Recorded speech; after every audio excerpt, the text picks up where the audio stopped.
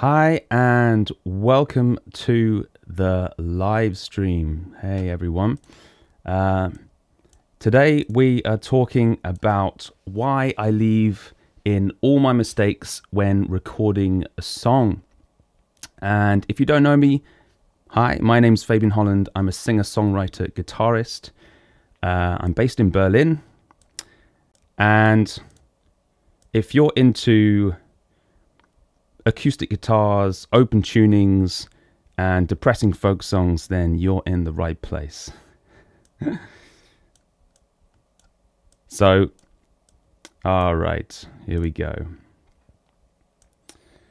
So, yeah, why I leave in all my mistakes when recording a song. This is one of my favorite subjects to talk about. Um, this I'm quite passionate about this. So, I did an album recently, well, say recently, in 2020, I did an album called Under the Red Island Bakery. Here it is here. And I recorded the whole album in one day. And it was really quite amazing to do that. And the reason why I chose to do that is because, you know, I believe that it's leaving in any mistakes that I had. You know, I, I didn't leave myself any chances to make any mistakes. Um, and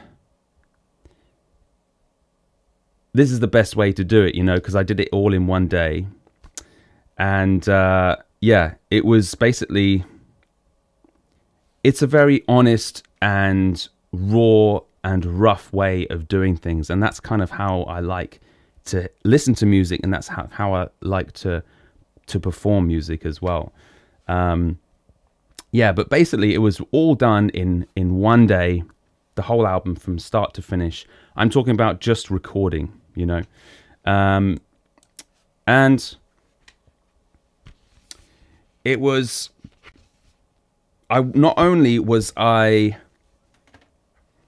playing guitar and singing at the same time, it was also being filmed as well. So that was kind of added pressure as well. Um, it was all done in this room. Uh, we basically live underneath an old bakery, um, or this room is underneath an old bakery.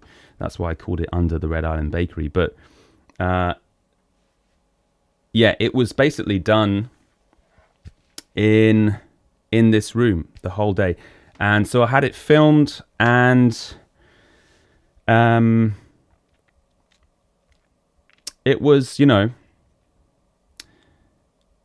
it was a lot of pressure.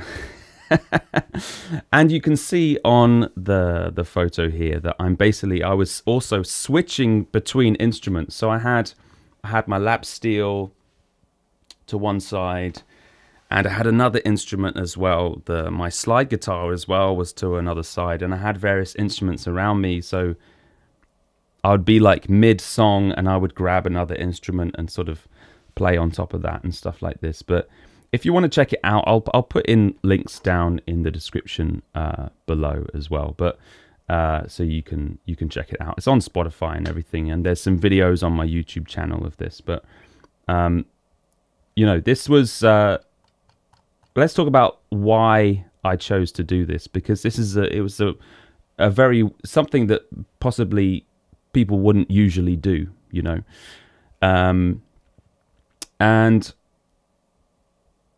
I feel that when something is recorded live with mistakes in and everything, you know, it has it has a more human element to it. It has a more honest and real feel to it, you know. Um, and this is what I love. This is what I love to hear. Um, but if anyone's watching out there, if you're watching live, uh, you know, let me know where you're watching from.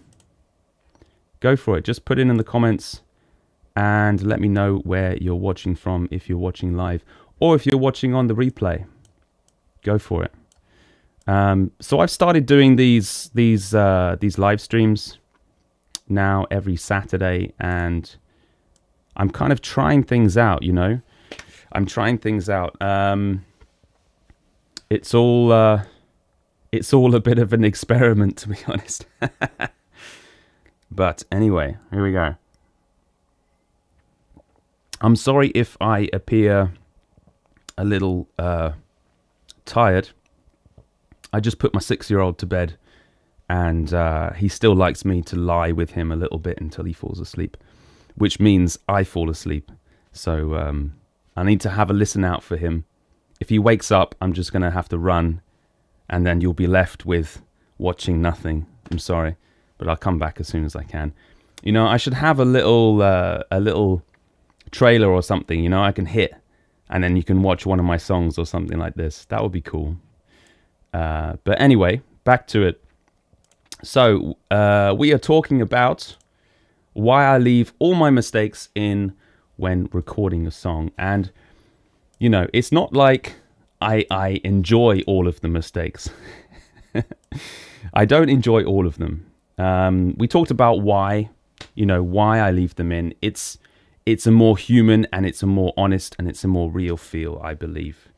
Um, you know, I'm not the best musician by any means at all. Um, and, you know, in fact, like what I'm doing here with the live streams and on this channel, I think about a lot actually. What am I doing? You know, what am I actually, what am I trying to do with this? What am I trying to achieve with this, uh, with this channel? And it's, uh, it's not like I have to be achieving something all the time, you know. Um, but I think sometimes it's quite a good idea to kind of have have an objective with what you're doing, and I kind of like to have that with whatever I'm doing. And I do have an objective. I do have an objective, and one of them is to kind of talk about what I'm doing, almost like a documenting what I'm doing creatively and what interests me. You know, um, and another thing is to create a community uh, with people that like the same kind of stuff that I like and have the same kind of values that I have. And I'm talking about musical values. And and you might be thinking, what are, what do you mean, Fabian? Musical values? What does that even mean? Uh, you know, this is one of my musical values. I would say is why I leave in all my mistakes. I, I like to listen to music that has these kind of mistakes in, and I say mistakes, but it's has these other sounds. I'm more, I should say, unexpected sounds. Has unexpected sounds in, and you know, you get this a lot with people that improvise as well, and you know, it could be improvisation is unexpected, isn't it? You know, it's we don't expect to go in a certain way, but that's that's where it's going. And I love to listen to music that has this as well. Um, and there's a you know there's something that draws me into music that is very rough and raw and honest and just this kind of these kind of elements. And it's not necessarily a specific type of music as well. I should mention that you know it's not necessarily um, something that is blues or folk you know. It could be anything. It could be you know, it, it could be electronic dance music, but it, if it has these elements in, rough and raw, and and has lots of feeling and and soul and dynamics and emotion, you know, then then I'm into it. You know, then I'm into it. So these are kind of what I mean by musical values. Um, but so anyway, moving on. Um, yeah, I'm not the best musician. I'm not the best musician at all. You know, I sing out of tune. I sing out of tune all the time. And but that's okay. But that's okay, you know, because and I've I've it's something that I've had to had to learn to deal with. Um and I make mistakes all the time, and that's also okay. It's something that I've had to learn to accept and to to almost like and enjoy, you know. Um I mean, to sing perfectly in tune, you know, it's really hard. It's really quite quite hard to sing perfectly, um, because you know, if you think of a note like that, there you see that. It's basically like a line, right? I'll switch it over to the other camera. Hold on. There we go. Right. It, when we sing, it's basically we're going, we're, we're fluctuating between up and down between that note. You know, it's it's just natural. Um, very few people hit it perfectly all the time. You know, it's natural to have these these sharp going a little bit sharp, going a little bit flat. It's um, it, it, it's what makes us human. You know, so when people use auto tune all the time, which a lot of pop music they're using auto tune, and a lot of other music as well they're using auto tune. Um, you know, it takes away the the the the human element of things. I believe it it it, it kind of makes it a bit more makes it more robotic. You know. Um, and I want to hear these. I want to hear when the voice breaks a little bit, and, and it, it makes the voice a little bit more vulnerable, you know. And when we hear these things, then it it it. I think that's a good way of emotion, you know. That's that's that's what we that's what we like to hear, you know. So that's what I believe anyway. So yeah, it's it's it's an interesting one, you know. It's an interesting one. Um,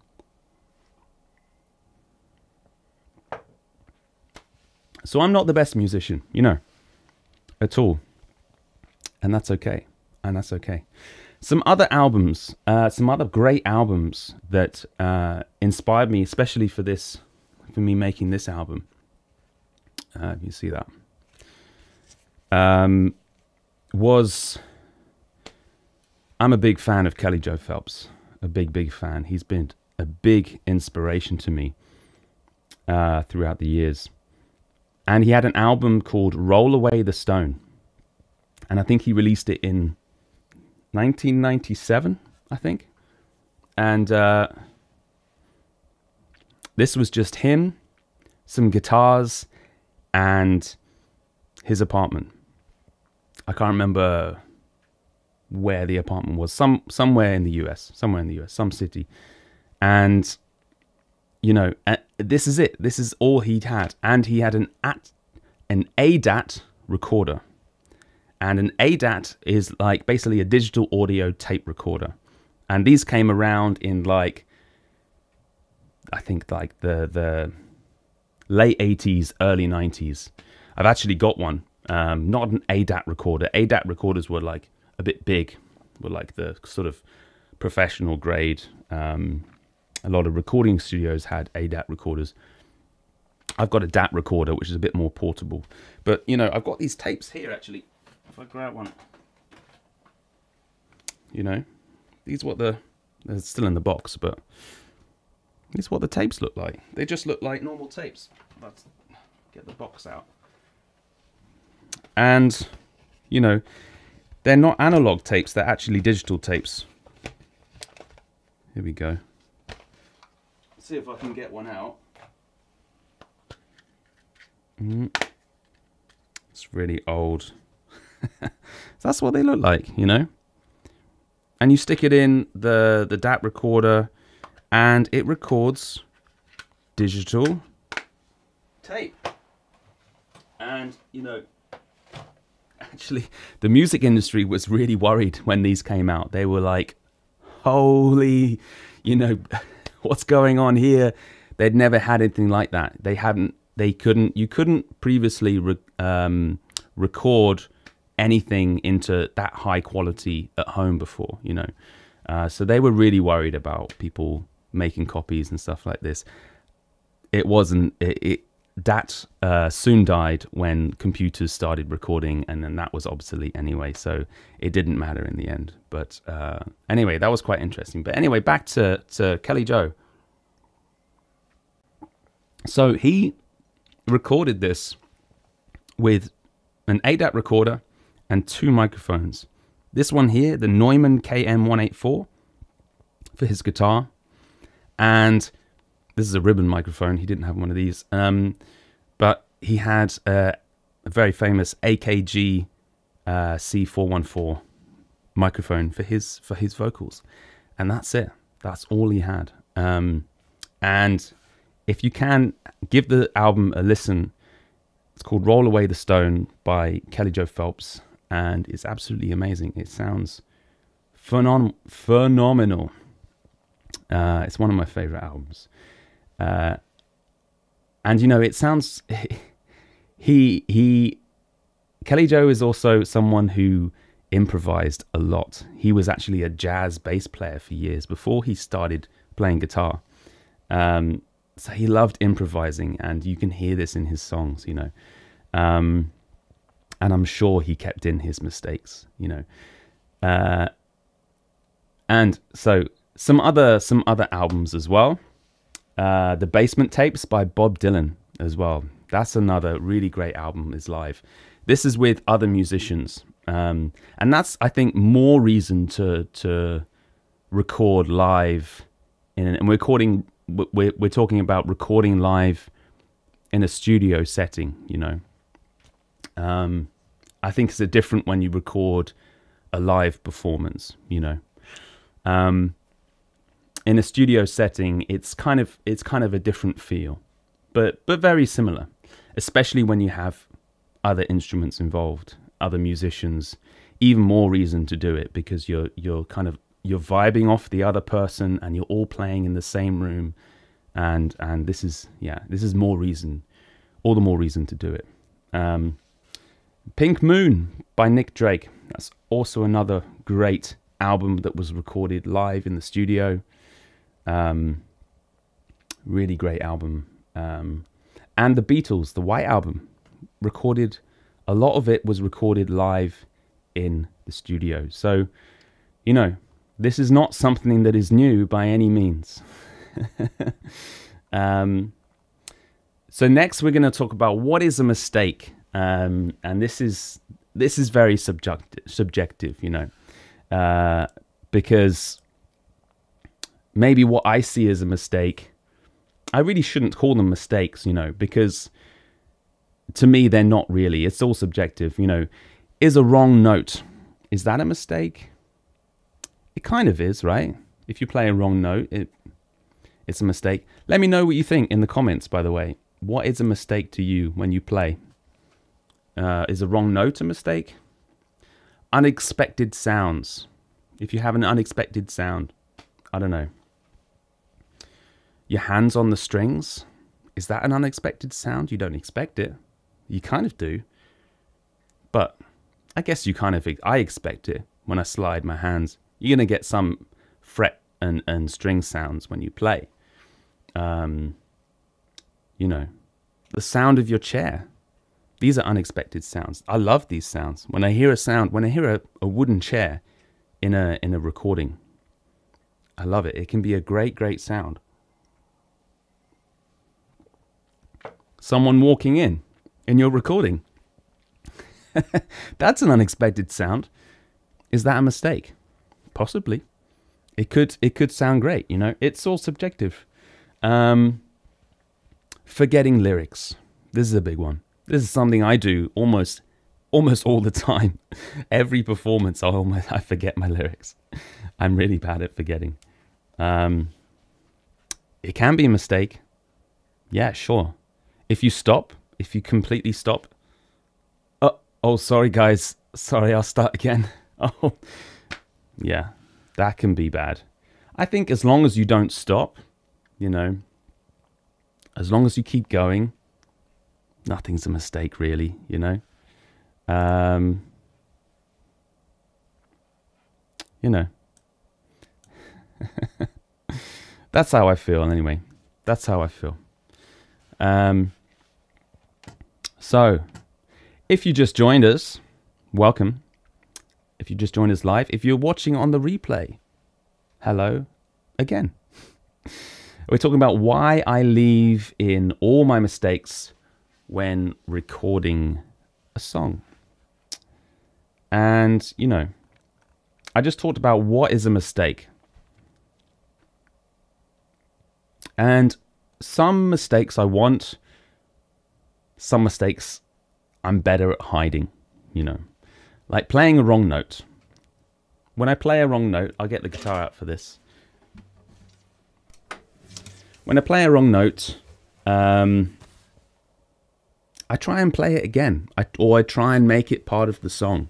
Um, let me think of something.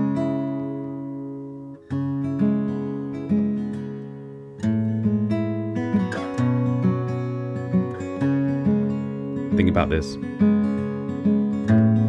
This bass line, right? Let's say I get this bass line a bit wrong. I accidentally hit this note. Oh.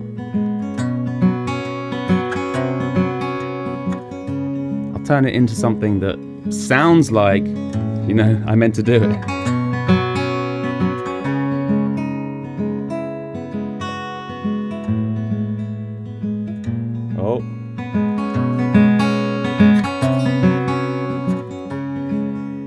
As an example, you know. Um, and I think that just comes with practice. Um, I I really try and do that, and sometimes it's easy to turn turn a wrong note into into part of the song, and sometimes it's it's a lot harder to turn it, and it's a lot more obvious. But um, that's that's that's something that I I try and do when I play a wrong note. You know, and unexpected sounds are part of it. I feel unexpected sounds are kind of part of the recording and make the recording what it is. Um, yeah, like, I mean, I'm just thinking of the the most unexpected sound that you could have. Oh, yeah, doors are a big one, especially if, if you're recording in in in a in a house, in a in a flat, an apartment, a home someone slamming a door. You know, if you got some really sensitive mics, they can pick up that low end big time. That can be bad, but it can be part of it. You know, it, it depends. It's just how you how you feel. You know, um, and let me know in the comments what's what's some unexpected sounds that you've had in your recordings. I'd love to know some interesting ones. Um, I'm just trying to think of some that I had. Um, no crazy ones. I think I even might have had a door in this one. Might have been a few doors closing, you know. I got people in, you know, I live in a flat. There's there's people coming and going. It it happens, but it's okay. It was part of it, you know. Um, especially with this album, it was it was part of the album, you know. It was kind of a concept album, I guess you would call it. People knew, you know, I kind of in the in the notes I kind of explain exactly as kind of my apartment. And uh yeah, kind of explain, you can't really see in here what what my idea was for this album and that it was all recorded in one day at home um, you know, so yeah, it can be it can be part of the recording, and I love that. I love to hear these these sort of sounds. It gives me, as a listener, anyway, it gives me uh, an insight to. It gives me an insight to the recording process, you know, and it, it, it I feel like I'm transported to to that place where they, it was recorded and that place in time as well. That's why old, really old recordings I really love to listen to and hearing these different things. Um, yeah. So they're part of it. Unexpected sounds are part of it. Forgetting lyrics. So forgetting lyrics. Let's see if I have another. I do have another uh, tip for this one. Here we go.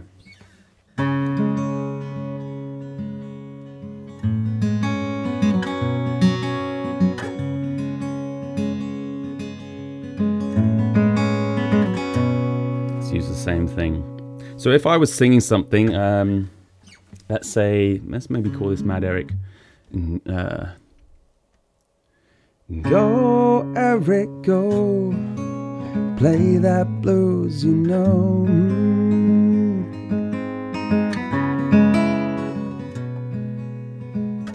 And there I forgot the lyrics, right?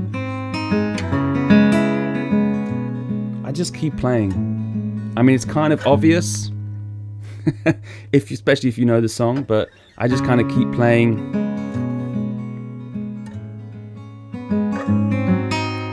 Or start again if it helps. Go, Eric, go. Play that blues, you know. Mm, you find it hard to cope. You're hungry, cold, tired, and broke.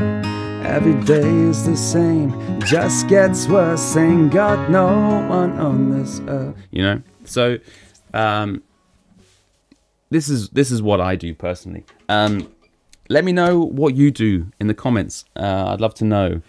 Uh, what do you do when you forget lyrics? Do you stop? Do you completely stop?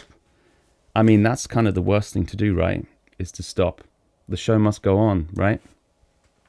Uh, yeah, I just keep playing. I just keep playing because no matter what, you can always play guitar. That's why it's so great when playing guitar and singing at the same time. Um, because you can just kind of come back to the start. Pretend also another cool thing is not only just keep going, but use that moment when you forget. and Go, Eric, go. Play that blues, you know.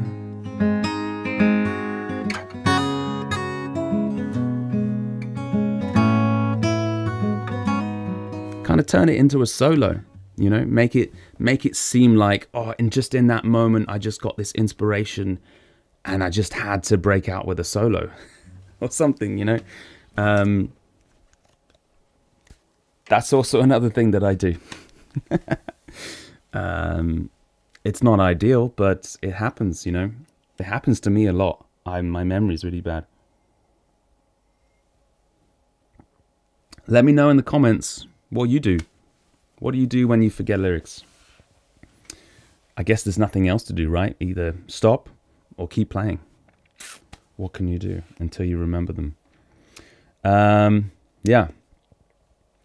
So another point is getting over the fear. Getting over the fear. Um,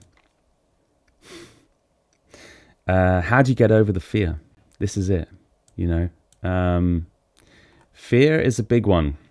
Uh, I think it, it's something deep within us, isn't it? That we that we all fear of the fear of looking like an idiot, looking like a fool, of messing up, of it's kind of the deer in the headlights. It's it's kind of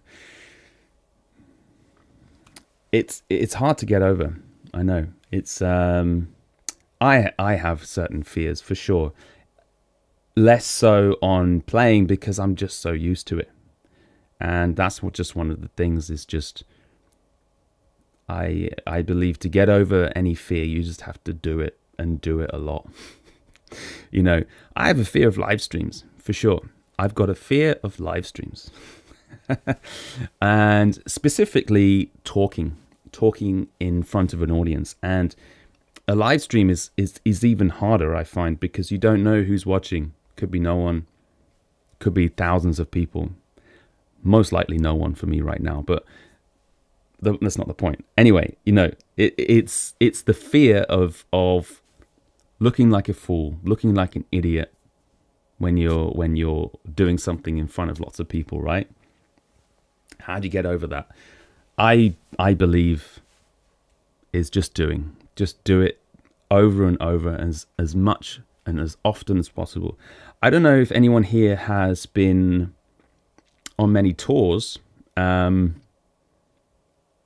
tours are great because you're doing lots of shows night after night, preferably.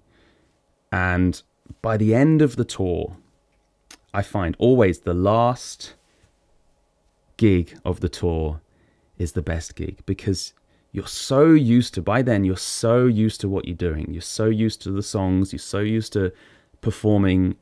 You've done so many that it's just you can forget about any fear um, and just enjoy it and just experience it and it's just it's wonderful because the audience can then can see that you're just relaxed. And that's the best thing is when you're relaxed and enjoying what you're doing. Um, and then the audience can see that you know and they they enjoy it more as well. So you know uh, keep doing it is what I'd say to get over the fear. Anybody else have any tips with uh, let me know in the comments below if you have any tips either if you're watching live or if you are watching on the replay if you have any tips for getting over the fear the fear of anything the fear of doing stuff specifically the fear of performing live or recording you know um, mainly we're talking about recording aren't we um, I got off on a tangent of playing live. It's kind of this. It's very similar thing. Um, mm. Also, what helps I find is kind of remembering that it doesn't matter in the end. It doesn't really matter. Um, when you try and make some perfect something, if you try and make something perfect, then you're going to end up making a mistake because in your head you're constantly thinking like I can't mess up, I can't mess up, this has got to be perfect. And then in the end, you're thinking about that so much and that worries you so much. I'm talking about me specifically because I think about this a lot um, that I end up making a mistake, you know. So it's much better, I find, if I'm doing a performance, if I'm doing a recording, anything like this, a live stream, it doesn't matter. It really doesn't matter in the end of the day, you know. Um, but of course, those fears come and uh, there's nothing we can do about it. We we gotta gotta deal with them, you know. But the more we do it, the more you record, the better, the more comfortable we'll get. For sure. I find. Um, yeah. So if you're just joining us, welcome. Hello. My name's Fabian Holland. If you don't know me, I'm a guitarist singer songwriter, and I'm in Berlin currently. It's the evening in Berlin, and uh, welcome. Let me know where you're watching from. If anybody's watching live, let me know where you're watching from, either live or in the comments as well. Let me know if you're um, if you're watching the replay as well. Let me know where you're watching from. I'd love to know. So, uh, just a quick note about these live streams. So, I'm I'm kind of experimenting with different things in different ways of of doing these live streams, and then and they seem to be kind of evolving, and I really enjoy them, and I kind of want to be doing them more and more. So I'm going to try and do them every Saturday, um, every Saturday at 9 p.m. European time, Central European time. So I'm in Berlin. Um, I think that's, or oh, I don't know the times on other. You have to work out the other times, but it's, I think it might be 12 noon uh, in the US Eastern, and then Pacific Standard, the other side, I think it's 3 p.m. I believe. Don't quote me. Just maybe look up on Google. I should remember that. I should know that, so I can just say them off. Uh, anyway, yeah. Uh, and just one thing on the live streams, just quickly. Um, I they seem to be developing into these things where I talk about a specific subject. Uh, I used to do just songs and anybody can come and kind of ask questions, but um, I'm kind of enjoying this this kind of structure of talking about a specific subject and then I incorporate songs into that specific subject. Um, and I kind of have a bit of, so it's a bit more structured this way, you know, and it means people can watch it on the replay. So if you're watching on the replay, hi, welcome. Uh, you can also watch this, come and watch this live every Saturday at 9 p.m. Berlin time. Um, I'd love to to hear from you. And you know, one of the things I think about is what am I trying to do here? What am I trying to do on this channel? What am I doing with these live streams? And I don't know. I still don't know. You know, maybe they'll turn into some kind of podcast style thing. I'm not sure. Who knows? Who knows? Um, I'd love to have guests on. That would be really cool if I have guests on and have various different things, and that would be cool. But for now, it's just me. um, yeah. so this is kind of the main the main thing. And i, I oh, going back sorry thinking about what is the main purpose of this of this channel. I know i talked about this earlier but just for anybody that that missed it.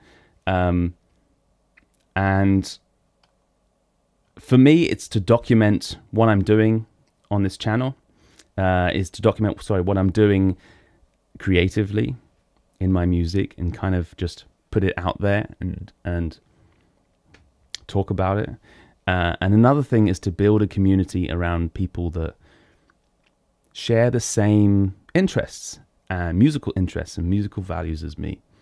Um, you know, so if you're into acoustic guitars, alternate tunings, finger picking, and depressing folk songs, then you're in the right place. Moving on, anyway, here we go. Um, so we talked about getting over the fear and various things of doing that. Um, so just repeating, do the thing is to get over the fear. I find as much often as possible. Record yourself as often as possible. Um, and one of those things I think is is improvising as well. You know, um, Kelly Joe Phelps I mentioned earlier. Um, he was a big improviser. You know, he was a he was a, a, a jazz bass player for years before he even started playing fingerstyle guitar. Um, and and that came across in his music. You know, his love for not not necessarily jazz, but his love for improvising, and you really you really feel it in his music. You really hear it, and I definitely took a lot of inspiration from that, and and I love Im- Im- improvising a lot. So I try and incorporate that into my music. Um, so then, saying that, I will now do a song. So this song is called Banks of the Dee. It was actually on my first album, and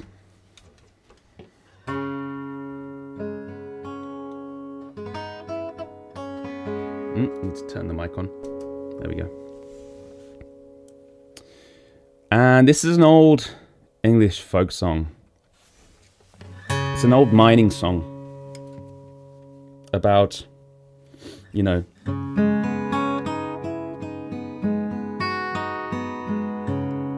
when the miners used to get old, they didn't get work anymore, you know, because they were physically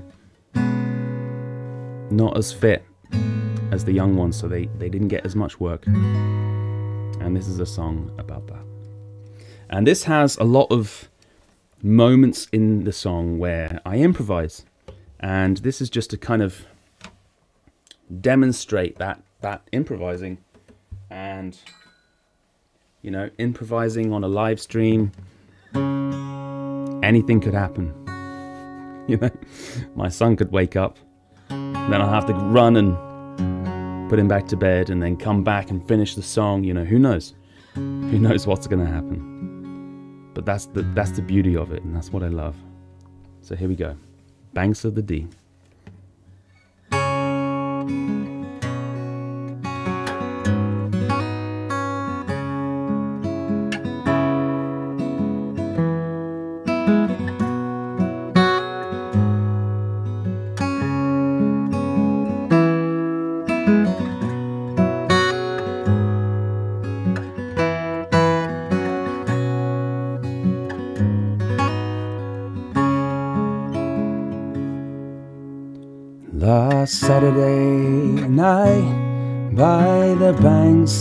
Of the Dee, I met an old man under stress I could see. And I sat down beside him, and to me he did say, Oh, I can't get employment for me here, it's turned grey.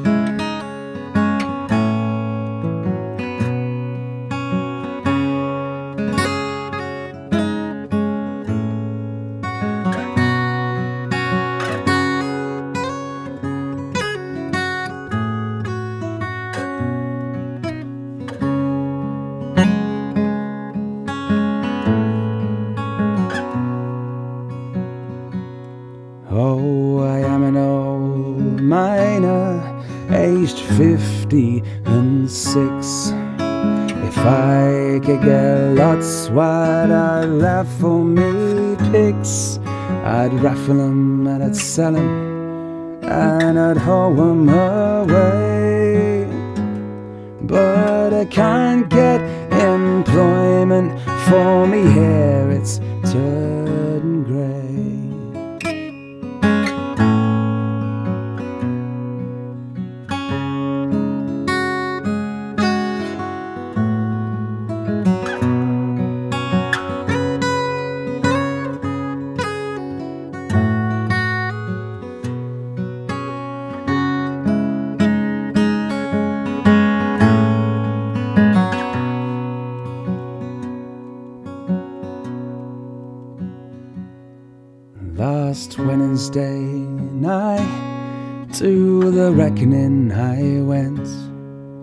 To the colliery office. I went straight for her nest and I got me wage packet and I was walking her way when they gave us me notice for me hair it's turned grey.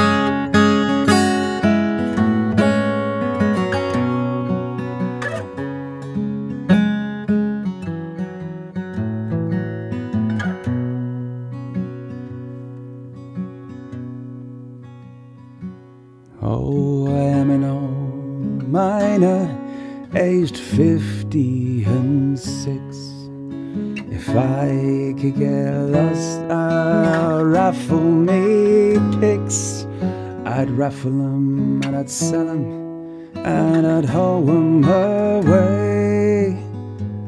But I can't get employment for me here. it's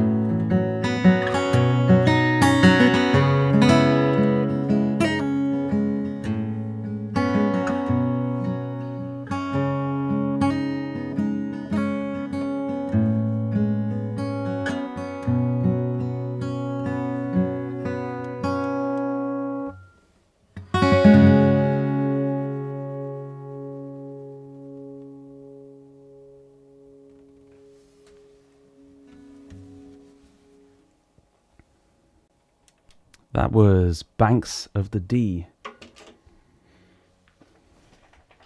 An old traditional song from the north of England. An old mining song. So today, if you've just joined us, we're talking about why I leave in all my mistakes when recording a song.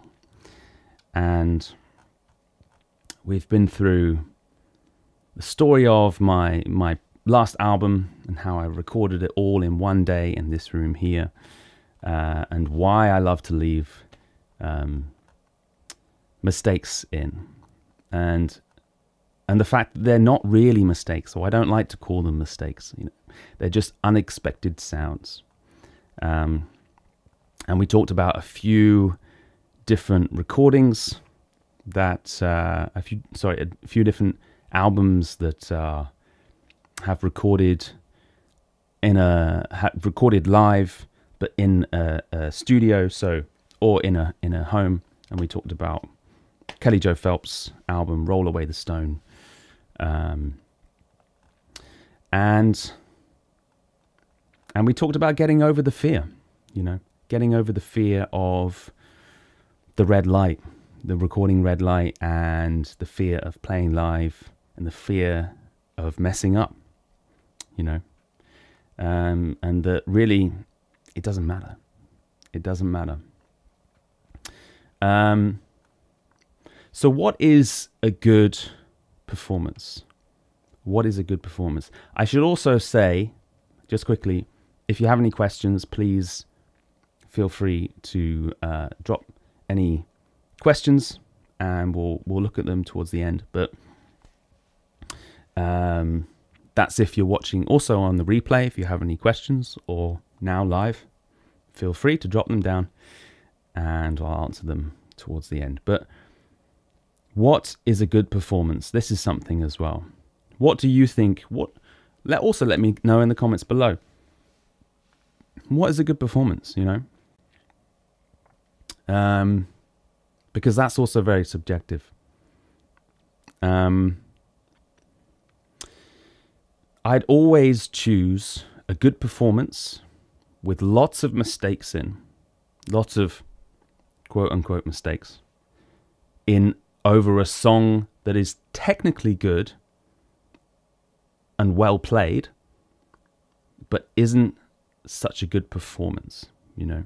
I think there's a difference between a good performance and something that is technically well played.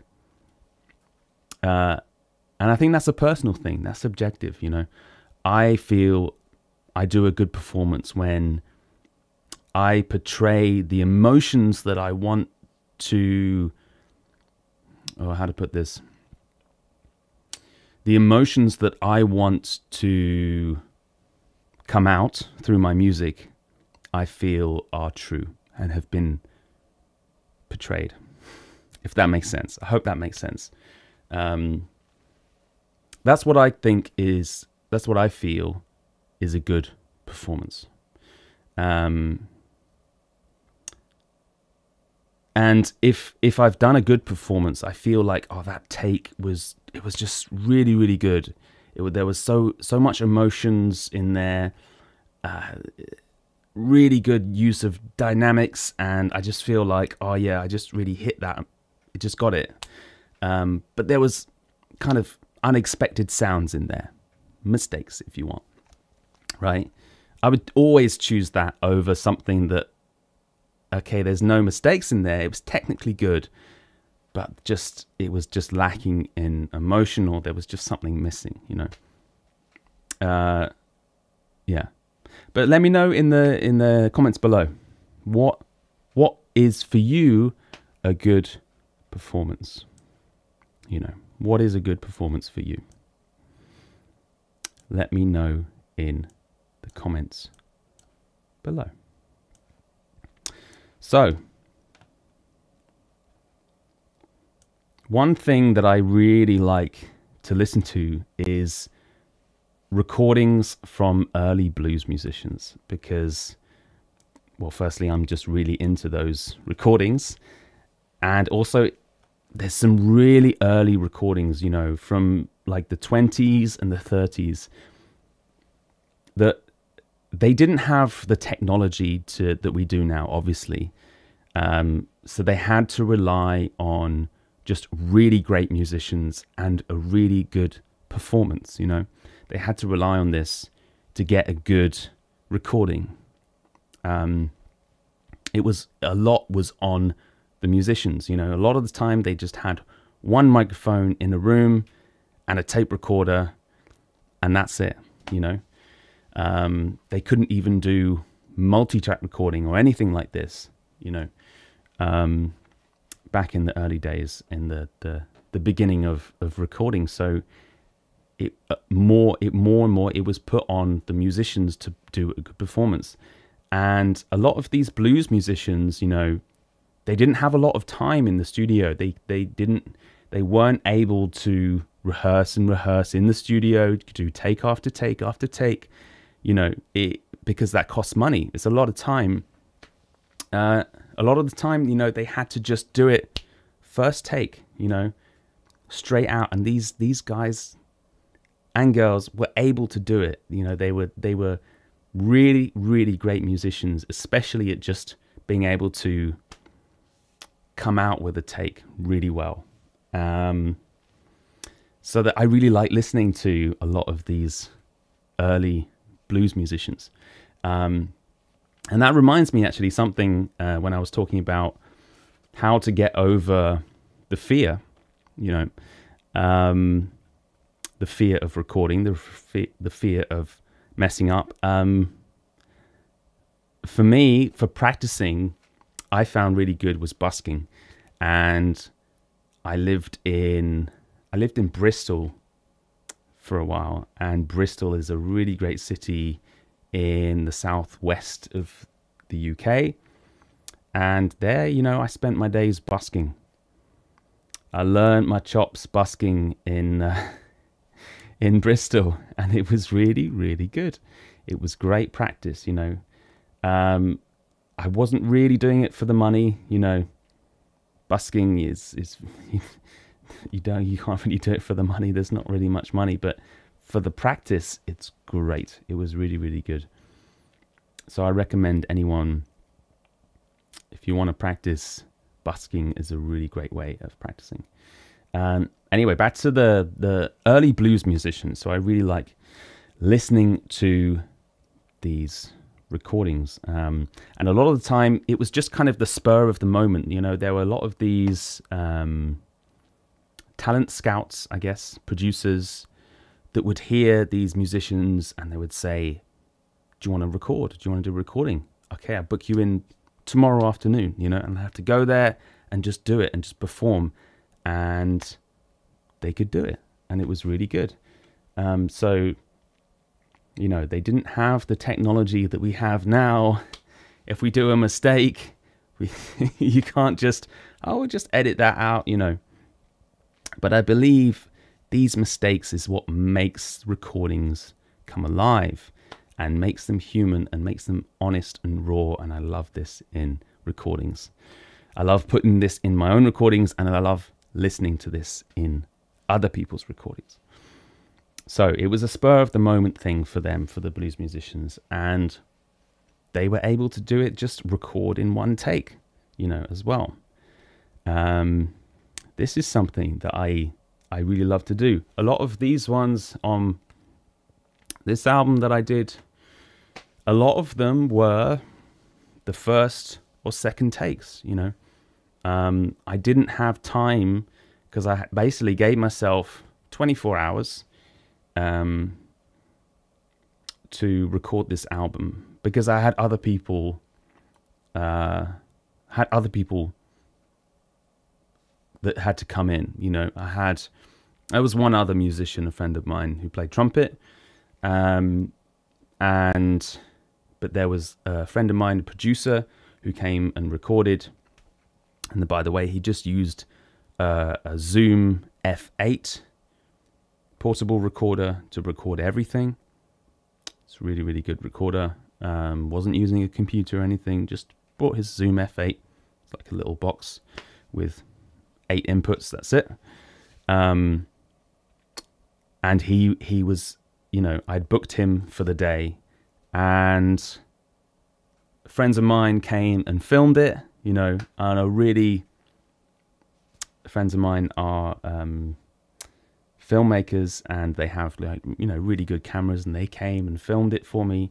And you know, I didn't want to use up too much of their time. So I, I literally just had 24 hours. So I couldn't do take after take after take. I was, I think I was limited to about three takes per song. Uh, going over three takes, it was a bit like, uh, you know, got to move on now kind of thing, you know? Um, but most of the time, because I'd prepared beforehand, I had, I'd done most of the pre- preparation beforehand. I'd practiced. I knew exactly what what sound I wanted, what I needed to do in every little moment of the song. Uh, I didn't need too many takes, you know, and because generally I'm quite happy with certain sounds being in the recording, unexpected sounds, that's okay for me, you know. Um, so yeah, there was no edits on this on this album. Not one edit in the whole album. I didn't record what would have been cool if I had recorded the whole whole album from start to finish. you know, like a like a gig, like a concert. Um, that would have been cool, but no, I didn't do that because I had lots of other things. I had other instruments to set up between each song and stuff like this. So, uh, yeah, maybe maybe for next time, that would be cool. Um, but yeah, didn't have too many takes, but I was able to do it within within three takes on each song, you know. Um, and it's the same for these early blues, musicians as well, you know. Uh, so that's why I love I love listening to these recordings.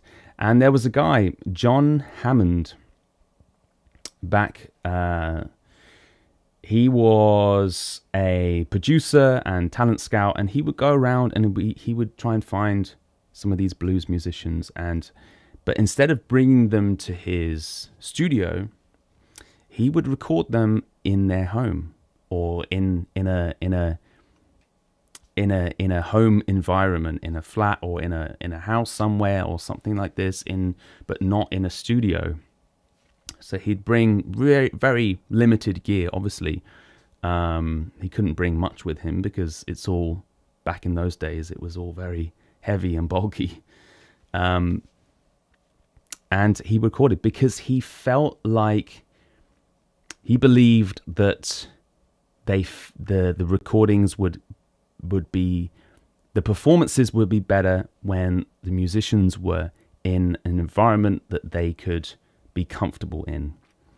And if you've ever been in a studio, I mean, it's really nice being in a studio, and, and a lot of them are very homely and super relaxing, but you know, it's not an environment that you're used to.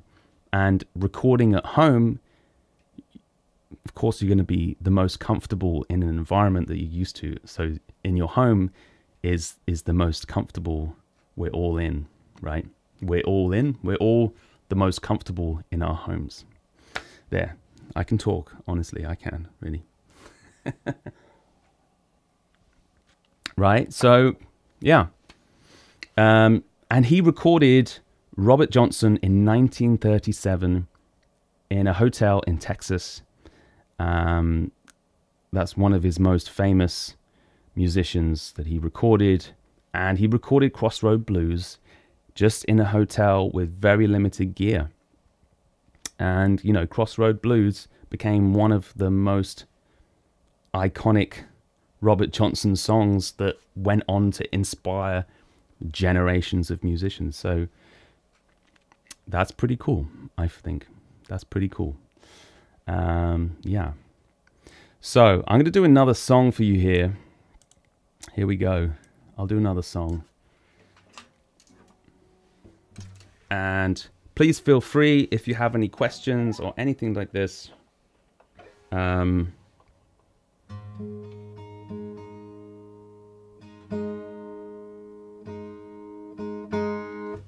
just drop them down and we'll we'll answer them at the end. But this is another one that I like to um, improvise with.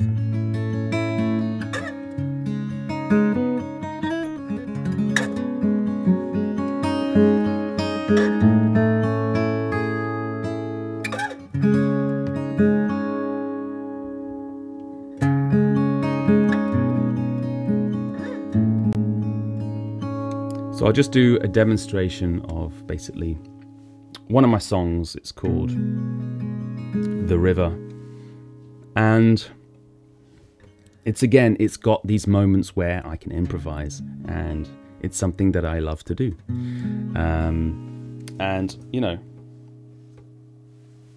again, anything can happen. So we'll see.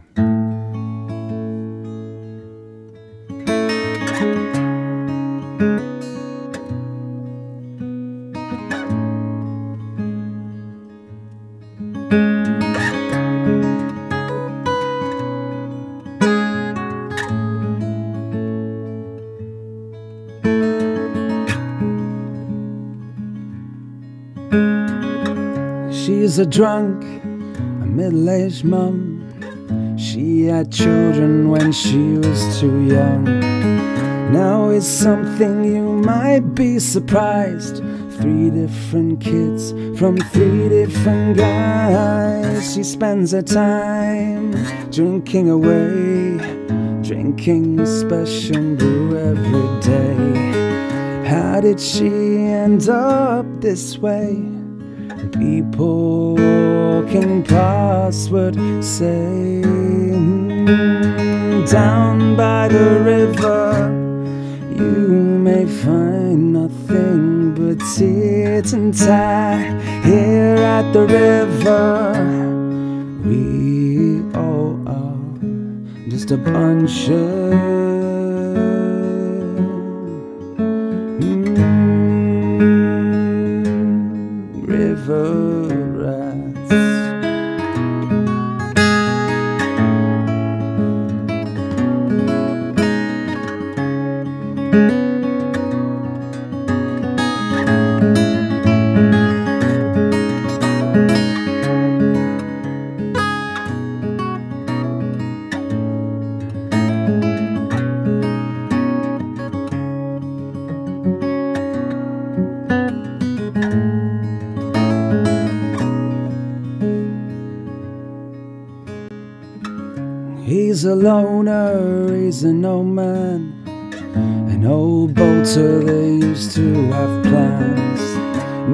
he has is a very long beard, keeping him awake.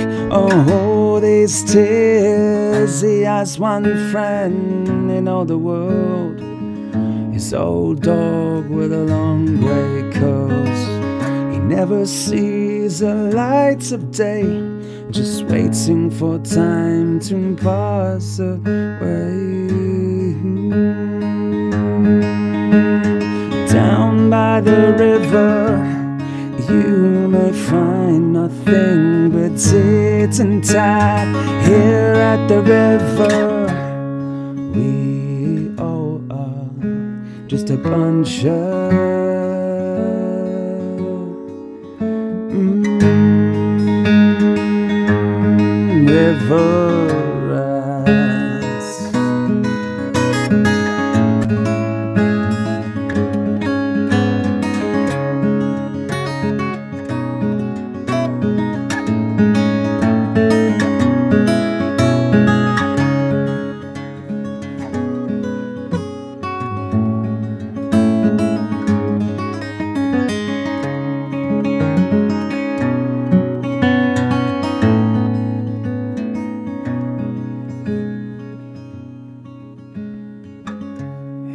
dad, he's a nice guy, a young father that doesn't know why. He can't see his poor little son because all these things this kid's mother has done.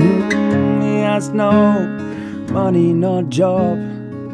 He'd do anything to earn a few bob.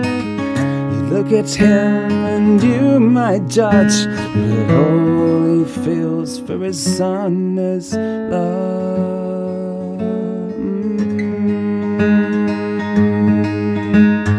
Down by the river, you may find nothing but tit and tat. Here at the river, we all are just a bunch of